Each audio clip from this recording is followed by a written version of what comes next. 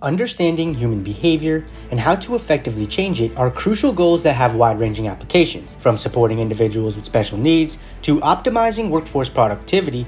Analyzing behavior through a scientific lens and developing evidence based interventions can significantly improve lives. Two frameworks that take such an empirical approach are applied behavior analysis, also known as ABA, and organizational behavior management, also known as OBM. OBM is a subdivision of ABA. While both seek to apply behavioral principles, ABA and OBM differ in important ways, namely their target populations and intended outcomes. As organizations and clinicians look to data driven methods for addressing behavioral challenges, it is important to distinguish ABA and OBM given their distinct purposes. This video will explore the key similarities and differences between these two influential behavioral science approaches. The purpose of this video is to create a visual essay illuminating how ABA and OBM are both alike. The goal of this video is to grant viewers with valuable insight for utilizing these scientific frameworks.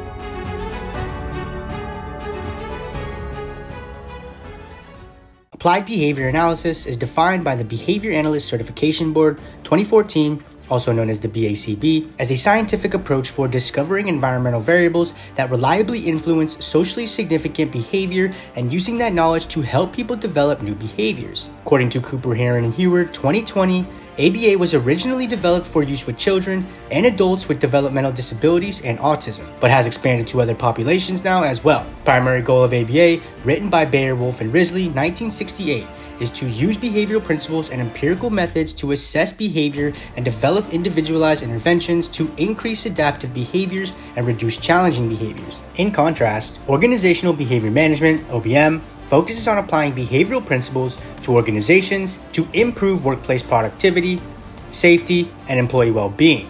OBM examines the relationship between environmental variables within organizations and employee behavior to design interventions. Found in Malott 2003, unlike ABA, which targets individuals, OBM interventions are aimed at groups of employees within an organization. Common applications of OBM include improving customer service, increasing task completion rates, reducing errors and injuries, and enhancing job satisfaction. One key difference between ABA and OBM lies in their approaches to assessment and measurement. According to Cooper and the rest 2020, ABA interventions are developed based on functional behavioral assessments, which identify the environmental events influencing an individual's targeted behaviors. Functional analyses are then conducted to test hypotheses about behavioral function. In contrast, OBM relies more on organizational analyses to identify workplace variables impacting employee performance, like feedback and incentives, rather than taking an individualized functional approach. OBM also uses group design research methods, whereas ABA commonly employs single subject experimental designs with repeated measurement of individual behavior.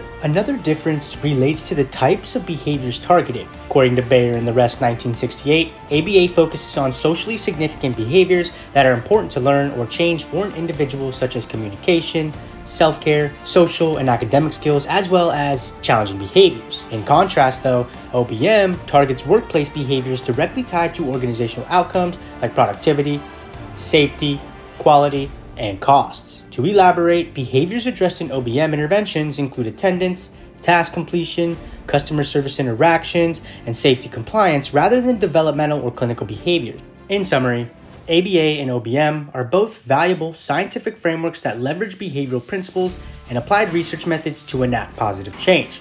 However, their targets and intended impacts differ based on addressing either individuals or organizations.